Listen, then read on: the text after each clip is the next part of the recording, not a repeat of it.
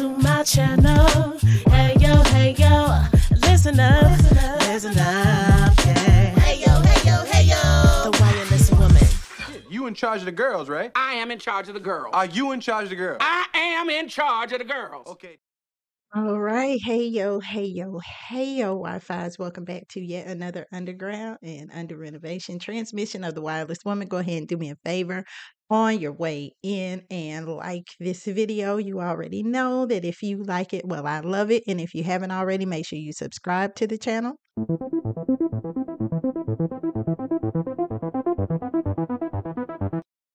And click the bell for notifications of when I go live and when I upload new content. Listen, first of all, can we give it up for the hair? All right, let's give it up for the hair. I'm here in Greenville. I found me a new loctician. I was feeling some type of way because I really was going to probably like keep going to Charlotte and going to my, you know, previous loctician that I had because we are creatures of habit we are creatures of our program presets, people. And if we use something for a long time, if we like something, then we're usually going to keep it. But I tried something new, something that I always suggest that people do. You know, if you have a hypothesis about something, test it before you develop a theory. And, you know, I really love the way that my old stylist colored my hair. We had a great rapport, but maybe I tried something new and I like, do you see this? Do you see the chamoline in? Let me show you.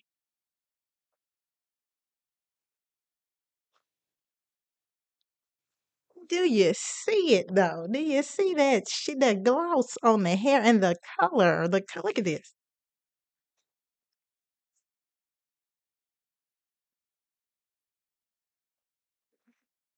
I mean, it's giving indigo. I didn't even know your hair could be this color. So, you know, try something new. No risks, no rewards. And, you know, it's beautiful that as much as I'm anti establishment and anti technology, it's really great to be able to have options at the palm of your hand that you can go in and try something new. I'm on here today to have a discussion with the ladies, to get the ladies all the way together and say, I've been running across a lot of women who aspire to be more natural in their presentation than they are. But the subject of Black women in beauty, it's such a loaded conversation because the things that we are hold are not desirable are the things that we're desired for. But my heart breaks when I see black women who look in the mirror at their own natural image and are disgusted by it that don't find beauty in how they get up and wake up every day. And you know, since I like my hair, I'm like on I'll be four years in in June. It is currently March, so I'm three months away from my four years. And I'm starting to feel a little something like Black Jesus, you know, reborn and reinvigorated by the process of growing to love just my own natural hair, the way it grows out of my head. Yes, clearly there's some manipulation when it comes to locks and woo, the maintenance. Anybody prepare me for all that. But I want you to know that it is okay to go ahead and lock your hair. I have said this about five times this week. So I felt like I should go ahead and get on this podcast and say it. Now, my niece and I, because she's wanting to start her lock journey. And that's what it is. It's a journey. There are ups, downs, ins, outs. Anyone who wants to get into locking their hair for the aesthetics of it, this is not what you want to do. This ain't what you want. This ain't what you want. That, this, that's not what this is about. It really has been a journey of self discovery for me. Um, it is something that I have had to get up look in the mirror and confront certain demons that I had about the way I look at my perception and how I would be received and uh, accepted by other people.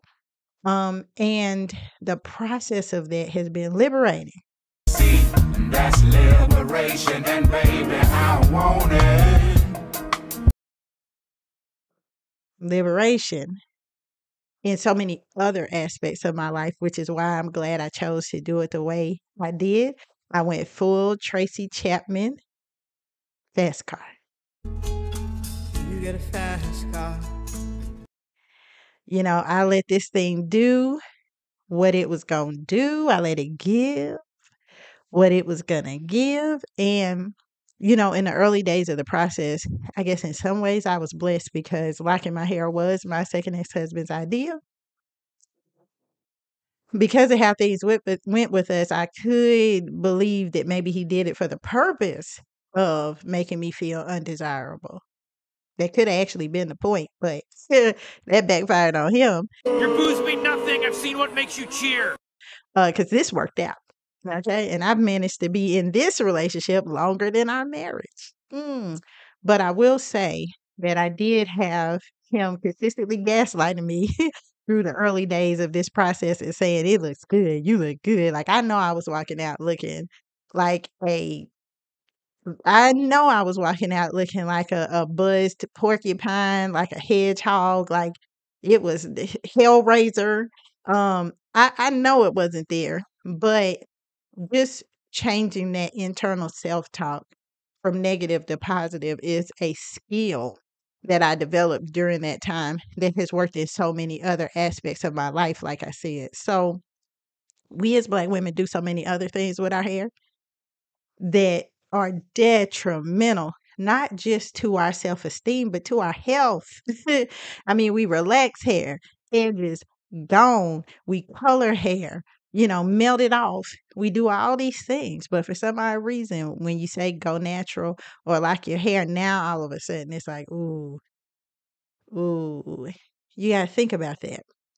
You got to think about the fact that the prospect of putting glue dyes in your hair wearing synthetic fabrics on your head is more appealing and acceptable than just to accept yourself as you are.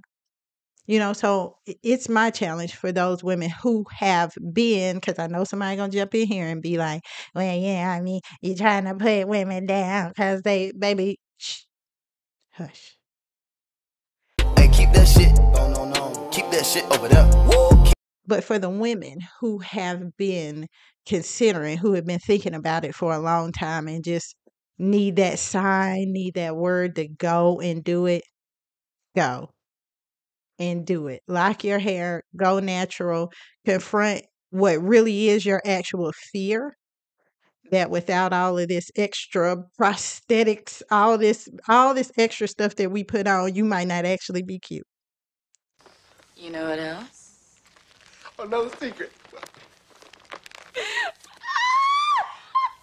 go headlong into that fear and see what you find on the other side of it.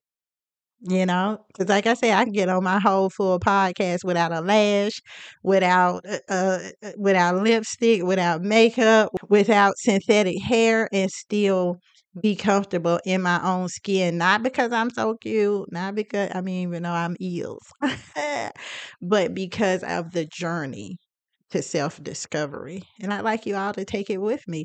Have you been considering locking your hair? Have you been considering a natural journey? Are you on a natural journey and considering going back? Because let's be honest, when you leave Egypt, baby, everything about your life changes. Everything about your dating prospects, about your career prospects, everything changes. So, you know, this ain't for the faint hearted.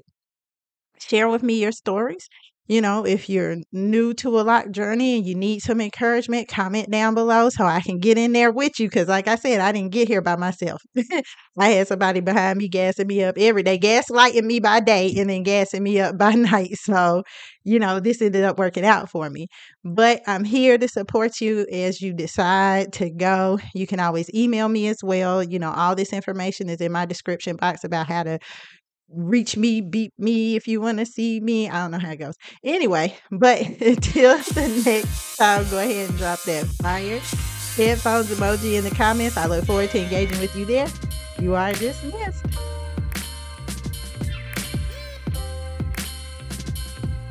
Find, take back, and keep your righteous mind. Because obviously, you have lost it.